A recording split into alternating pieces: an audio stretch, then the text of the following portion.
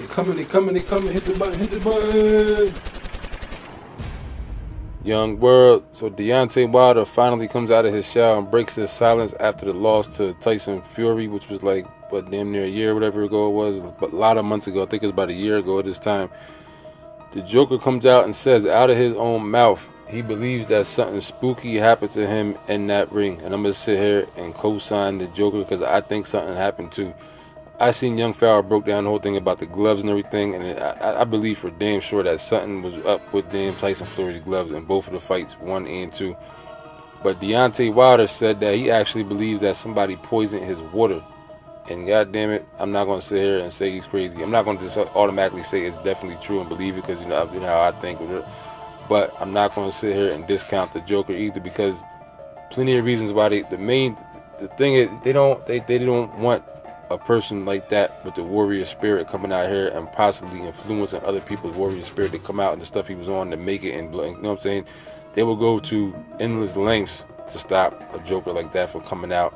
Because he's out here knocking people. He's not a basketball player. He's not a rapper. You know what I'm saying? He's not a he's out here actually putting in real work with the warrior spirit and showing and giving people hope you know what I'm saying? That gives you a different type of strength and hope. You know what I'm saying? Like it gives you a different type of outlook is stronger. The, the influence is stronger for somebody like that. And he was on that pro black stuff. That's why I believe that it's possible that they would have went to the length. And you sitting there like, oh, his, his own person wasn't doing it. I think he kind of hinted to, or he made it just came out and said that it might have been somebody on his own team. You like, oh, how was somebody? Because that's how they get people. They get they come to you, somebody on your team who you're with, who's close to you, and that's how they are able to infiltrate you. You never know what they, they be having dirt on jokers, blackmail people like, oh, he's making money with Deontay. How you know somebody might come and offer way more money than he's making with Deontay Wilder or something like that, or like I said, they might have some information on you that you don't want to get out. It could be a blackmail type of situation. They know something about illegal something that you did. So, you know what I'm saying? All types of things could have happened for somebody to turn on somebody like you believe, believe it's not possible. It's possible. It's definitely always, especially when you're in the realms of those type of people, celebrities, money, Hollywood, the industry, like that's where the big money is at. That's where the people that can make stuff. You, you think you in your in your hood, you got people running around hustling that can throw a couple dollars at a joker and make him go do something to somebody for a couple hundred dollars if he's desperate.